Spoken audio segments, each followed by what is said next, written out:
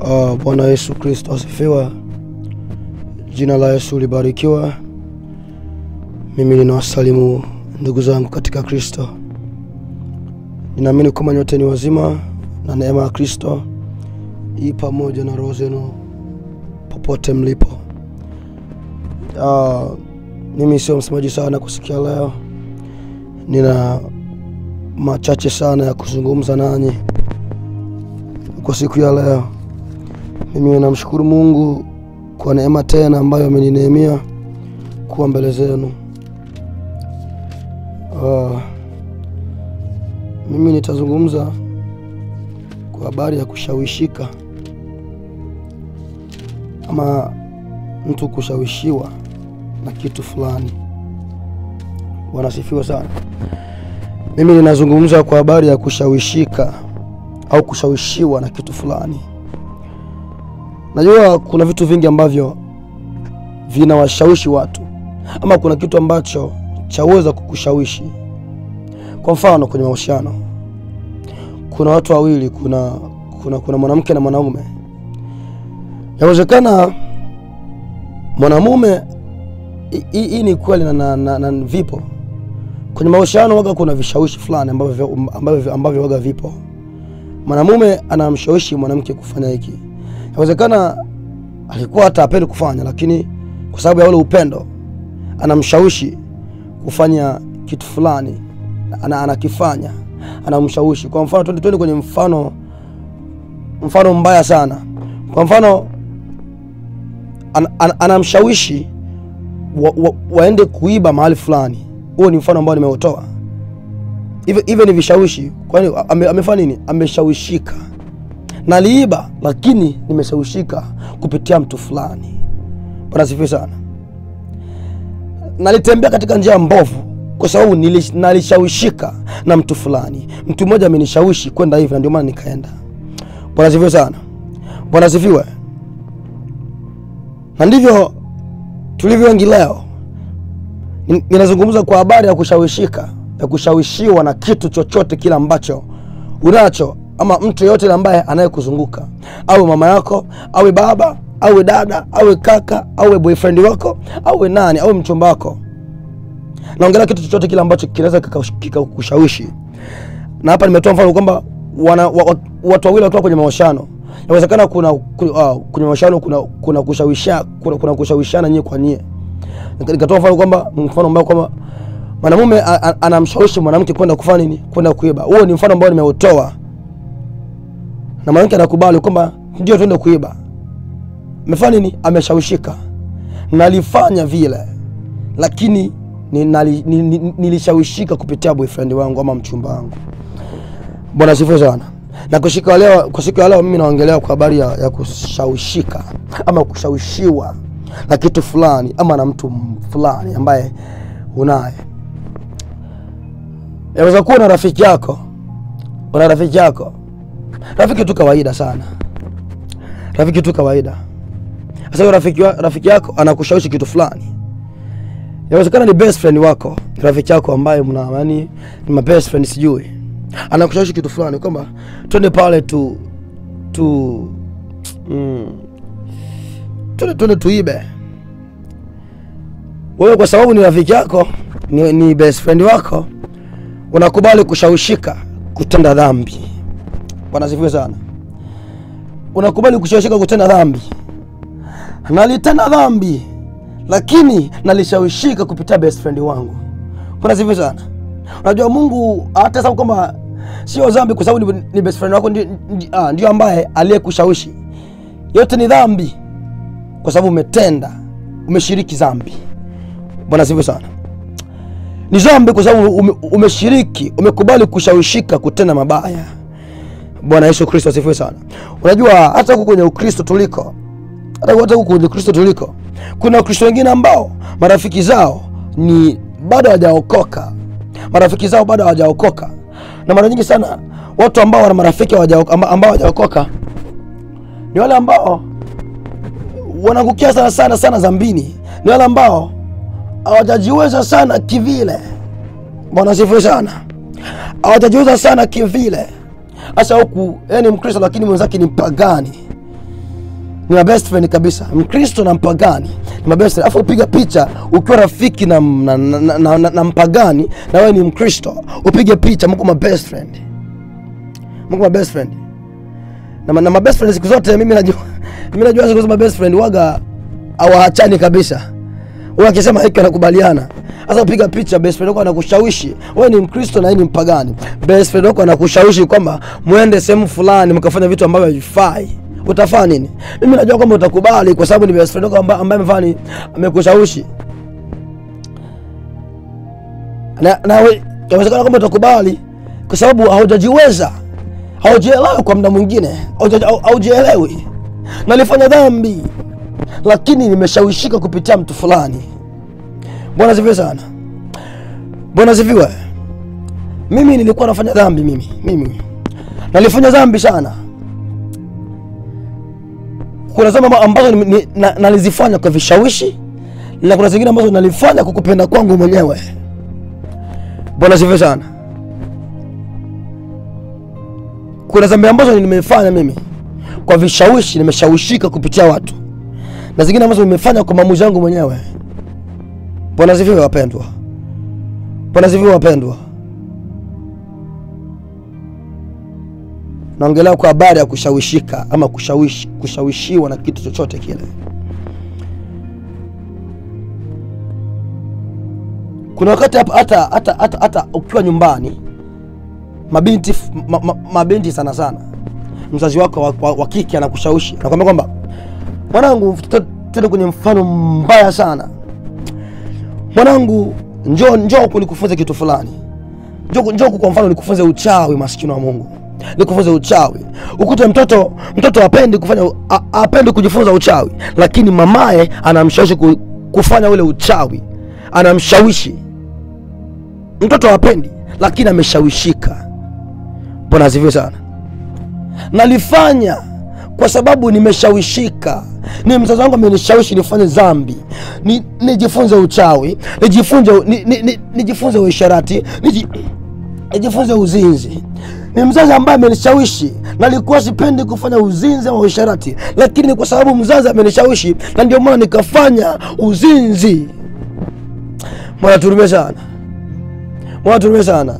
Inawezekana ni binti masikio na mungu ambaye umekwisha kuelewa una ndoa yako lakini kuna rafiki mmoja rafiki yako mmoja ambaye anakushawishi kila leo kwamba utoke nje ya ndoa ukafanya uzinzi mahali fulani. Nguvu ya kushawishika. Vishawishi.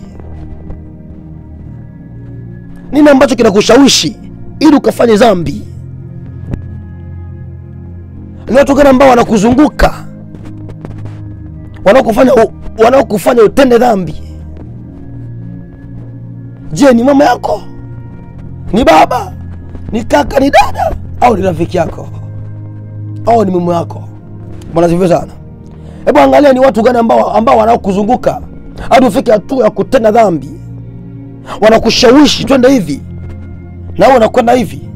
Twende hivi. Na unakwenda hivi. Ukuta- wengine ni wakristo lakini hadi leo wanazidi kushawishika. Ni marafiki wabaya. Wanasivyo sana na ndio maana- na kwenye maandiko yamesema kwamba marafiki wabaya huharibu tabia njema wapendwa. Marafiki wabaya ah, wanaharibu tabia njema.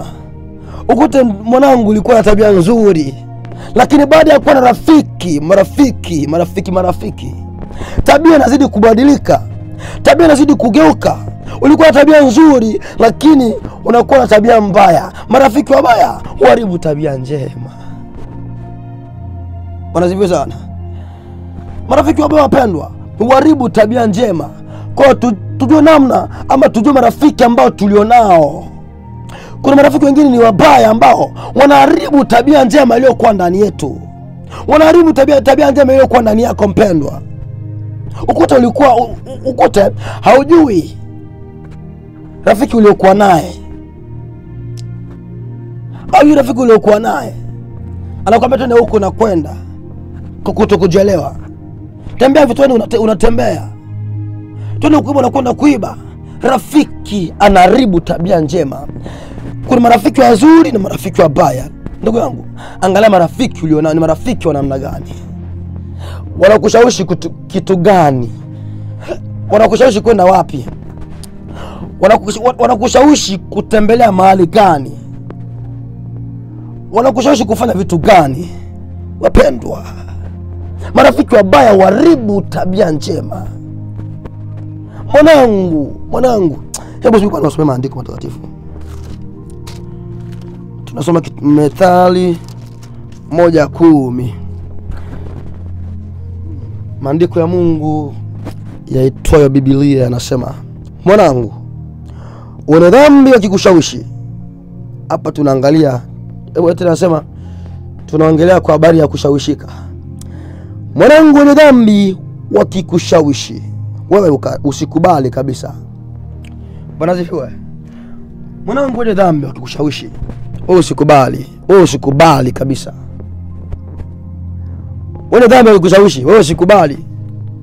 Lakini leo tuna, tu- tuna wengi sana ambao wanashawishika na wenye dhambi na wanakubali na anakwenda kufanya dhambi. Mwanangu, wenye dhambi wakikushawishi wewe kutenda dhambi, wewe usikubali. Lakini tuna wengine ambao wanazidi kushawishika na wenye dhambi. Ukute, ukute anashawishika na mwenye dhambi kwenda kunywa pombe. Rafiki yangu, twende pale kununua kinywaji fulani, pombe, unaona unashawishika, unakunywa, dhambi tayari, kwa sababu ni rafiki yangu amenishawishi, basi twende. Ndugu zangu, maandiko umetuambia kwamba wenye dhambi wakikushawishi, wenye dhambi, wenye dhambi, yaani wenye dhambi tu, wale wale, wale wadumu kutenda dhambi, wale wakikushawishi wale wewe usikubali. Na ukiona rafiki yako ni ana tabia kushawishi kushawishi kushawishi, jitenge naye, sio vibaya, jitenge naye, yaani mkatae kabisa. Bwana sifiwe sana, yaani umkatae kabisa. Rafiki yote ambaye unaye ambaye ana tabia ya kushawishi kushawishi mabaya, wewe kabisa, jitenge naye, kaa mbali naye, kaa mbali kabisa kwa sababu kuna marafiki, wengine ambao wana tabia ya, ku, ya, ya, ku, ya, ya, ku, ya kuwashawishi watu wengine kutenda mabaya. Wanatuhurumia sana. Kwa hiyo mpendo, unanisikia, angalia ni marafiki gani ambao wanaokuzunguka. Angalia rafiki nani, rafiki gani ambaye an- an- anaye anaye ku, ku, ku, nani kushauri ama anayekushawishi mambo ya kufanya mambo gani, anakushauri mashauri gani? Bwana zivu sana wapendwa, mimi sio msomaji sana, ninaongelea kwa habari ya kishawishi ya vishawishi, naongelea kwa habari kwa habari ya, ya, ya vishawishi. Ni mtu gani unashawishika kufanya kitu gani? Unajua kuna, kuna vishawishi vingine ambavyo ni vishawishi, ni, ni vishawishi ambavyo havileti utukufu mbele za Mungu avimpi Mungu utukufu. Sasa fikiria, unashawishika na kitu gani mpendwa? Unashawishika na kitu gani mpendwa? Marafiki gani ambao wanakuzunguka? Unazungukwa na watu gani? Kwa sababu hata mazingira yanaharibu tabia njema iliyokuwa ndani ya mtu. Ukute zamani ulikuwa mcha Mungu mzuri sana, ulikuwa unakimbia dhambi, lakini kuna kitu kwa sababu ya mazingira. Unaona dhambi ni kitu cha kawaida sana, unaishi dhambi, unalala dhambi, unakula dhambi. Bwana turume sana, yote kwa sababu ya watu wanaokuzingira, eh, watu wanaokuzunguka, mazingira uliokuwa nayo. Bwana sifiwe sana. Kuta zamani ulikuwa sio mzinifu, lakini leo unazini ovyo. Marafiki uliokuwa nao wanakushawishi kitu gani? ukuta leo ulikuwa sio msharati, lakini zamani ukuta, ukuta zamani ulikuwa sio msharati, lakini leo umekuwa mwisharati Una- una- unashawishika na nini kitu gani ambacho kinakushawishi mbona sivyo? zamani ulikuwa sio mwizi lakini leo umekuwa mwizi umeshawishika na nini zamani zamani ulikuwa sio mwenye kiburi lakini leo umekuwa na kiburi ni nini ni nini zamani zamani ulikuwa tabia njema nzuri sana lakini leo haona tena tabia njema umekuwa mwenye dharau, mwenye kiburi. Ni nini? Nini ambacho ki, kinakushawishi? Nini ambacho kinakubadili mwenendo wako na tabia yako? Bwana sivyo sana. Wapendwa, wapendwa, tuangalie vitu gani ambavyo vinatushawishi vina-. Je, ni rafiki yako, ni mama yako, ni kaka yako, ni baba au ni dada au ni anko? Ni nani ambaye anakushawishi? Bwana sana. Ni nani anayekushawishi kutenda dhambi au kuacha njia yako au kuacha njia yako na kuendea njia zingine. Ukute zamani ulikuwa mtenda mema, lakini leo umekuwa mtenda mabaya. Angalia ni marafiki gani ambao wanaokuzunguka mpendwa. Usiishi kimazoea. Angalia ni marafiki gani ambao wanaokuzunguka. Rafiki yangu, ni marafiki gani ambao wanaokuzunguka? Hebu hebu tafakari. Zamani ulikuwa mzuri sana, ulikuwa na tabia nzuri, lakini leo tabia yako ume haipo tena, umekuwa umekuwa mtu mbaya sana. Ni kwa nini? Ni kwa nini? Bwana sifiwe sana wapendwa.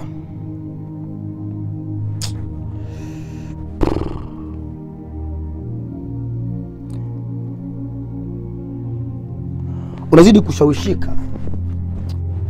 Ni watu gani ambao wanaokuzunguka? Ni watu wa namna gani ambao wanaokuzunguka? Zamani ulikuwa vizuri sana, lakini leo unashawishika. unatembea njia gani? Ni watu gani ambao wanaokushauri? Unashauriwa na akina nani? Bwana. Unashauriwa na akina nani kwamba twende huku? Unajua wenye dhambi, wanangu, wenye dhambi wana, vishawishi vikubwa sana. Kwa hiyo leo tunatu tunaongelea kwa habari ya wenye dhambi wakikushawishi wewe, usikubali. Wewe usikubali, kataa kabisa, kataa. Unatembelea njia gani?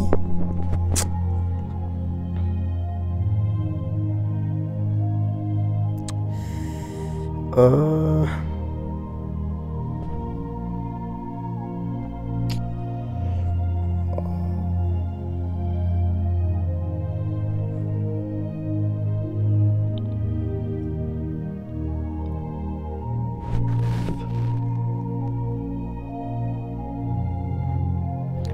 ndio. Unajua wapendwa, kuna marafiki wengine ambao sio marafiki hata hata- hata wa nao, sio marafiki hata wakujiunga nao. Ukute wewe ni Mkristo, unajua kuna marafiki wengine ambao hawakomi hawakomi kutenda dhambi, nawaambia. Hawakomi kutenda dhambi, nawaambia. Wao wakikaa siku moja bila kutenda dhambi, wanakuwa vile wanaona kama vile ni dhambi juu ya dhambi. Wakikaa tu saa dakika bila kutenda dhambi Aba. Kwa ndugu zangu tuangalie wana marafiki wa kujiunga nao. Ni watu gani wa, kujiunga nao? Hebu nasomea Warumi moja ku- ishirini na nane na tisa. Inasema wamejawa na udhalimu wa kila namna, waovu na tamaa na tamaa na tamaa samani. Waovu na, na tamaa na ubaya, wamejawa na usuda na uwaji na fitina na ha, na adaha, watu watu wa nia mbaya, wenye kusengenya. Bwana asifiwe sana. Mfalme asifiwe. Huko zamani ulikuwa sio sio ulikuwa usengenye maskini wa Mungu, lakini leo unasengenya. Ndugu yangu, nakwambia angani watu gani ambao wanaokuzunguka ni wanani wanaokuzunguka wanakushawishi nini na kwa nini leo unasengenya kwa nini zamani ulikuwa usengenye na, na, na, na, na kwa nini leo unasengenya hebu tafakari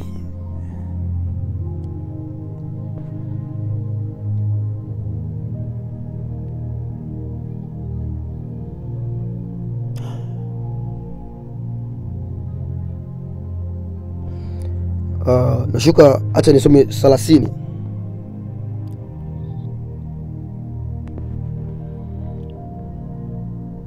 Wanasema maandiko wanasema wenye kusingizia wenye kusingizia wenye kumchukia mungu wenye jeuri wenye kutakabari wenye majivuno wenye kutunga mabaya wasiowatii wazazi wao. Bwana zimezana mpendwa inawezekana zamani ulikuwa na mtii mama yako vizuri sana. Lakini leo unamdharau mama yako. Hebu angalia ni watu gani ambao wanazung- kwa, sababu kuna watu- kuna watu wengine ambao tunaishi nao. Wamekwisha kulaaniwa na wazazi wao. Hawawatii wazazi wao. Alafu eti, eti, eti, eti, eti unapenda kuwa rafiki rafiki naye. Atakushawishi utageuka. Kuna zamani ulikuwa ulikuwa na heshima wazazi wako.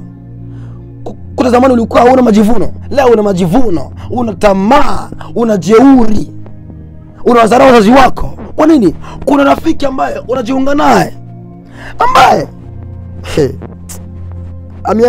yote na- ndani yake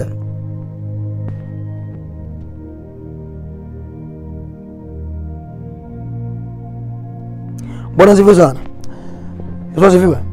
Ndugu zangu, mimi naongelea kwa habari ya vishawishi, tunaongelea kwa habari ya dhambi ya kushawishika. Tumesoma Methali moja kumi kwamba mwanangu, wenye dhambi ya kushawishi wewe usikubali. Tukasoma Warumi hapa moja ishirini na nane hadi hadi- thelathini pale. Wapendwa, tutafa, tutafakari zamani tulikuwaje na leo ukoje? Zamani ulikuwa tabia nzuri, leo una tabia mbaya. Ni kwa nini? Angalia marafiki wanaokuzunguka ni marafiki wa namna gani, mpendwa. Naamini kwamba haya, haya maneno ambayo niliyosema kwa siku ya leo. Uh, nimesema kwamba mimi, mimi sio msemaji sana, mimi ni mfupi tena wa hali ya juu, ndio na nis- nis- nisiseme sana. Nafikiria tu ndio hayo, na Mungu atubariki sote, amen.